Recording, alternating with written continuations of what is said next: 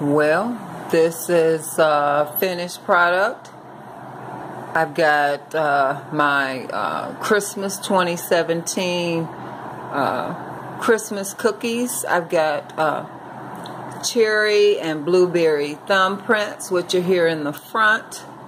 I've got um, also another uh, cherry pecan cookie here. Got, of course, the peanut butter kisses, which are also a thumbprint in my mind. As well as, let's see. Oh. And these are the monster cookies. So,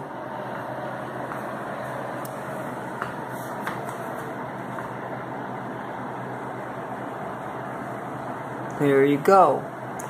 This is Alice at Wonderland Speaks. Uh, I can be reached at Google, uh, Facebook, Twitter.